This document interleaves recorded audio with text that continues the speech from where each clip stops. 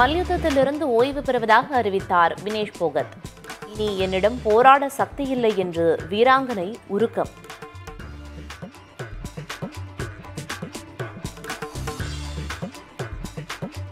வக்பு வாரிய சட்டத்திருத்த மசோதா மக்களவையில் இன்று தாக்கல். நாடாளுமன்ற குழு பரிசீலனைக்கு அனுப்ப எதிர்க்கட்சிகள் வலியுறுத்தல்.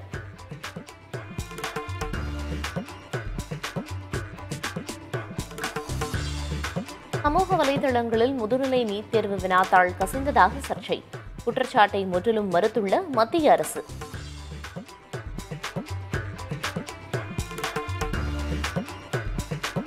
வயநாடு நிலச்சரிவை தேசிய பேரிடராக அறிவிக்க வேண்டும். மக்களவையில் ராகுல் காந்தி வலியுறுத்தல்.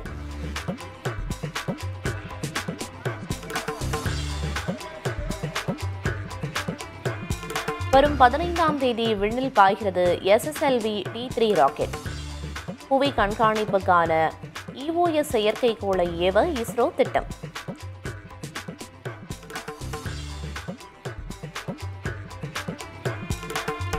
முத்து வீரமுத்துவேல் தலைமையிலான சந்திராயன் த்ரீ திட்ட விஞ்ஞானிகளுக்கு விருது அறிவிப்பு. ராஷ்டிரிய விஞ்ஞான் புரஸ்கார் விருது வழங்குகிறது மத்திய அரசு. ஒலிம்பிக் பளுதூக்கும் போட்டியில் நூலிழையில் பதக்கம் வெல்லும் வாய்ப்பை தவறவிட்ட மீராபாய் சானு. நூற்று தொன்னூற்று ஒன்பது புள்ளிகளுடன் நான்காவது இடம் பிடித்து ஏமாற்றம்.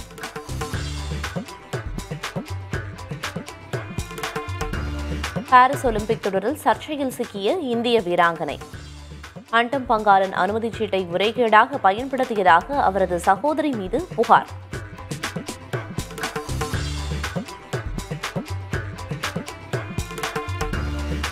அடுத்த ஆண்டு பிப்ரவரியில் சுனிதா வில்லியம்ஸ் உள்ளிட்ட இருவர் பூமி திரும்ப ஏற்பாடு. ஸ்பேசக்ஸ் நிறுவன உதவியுடன் நாசா புதிய திட்டம்.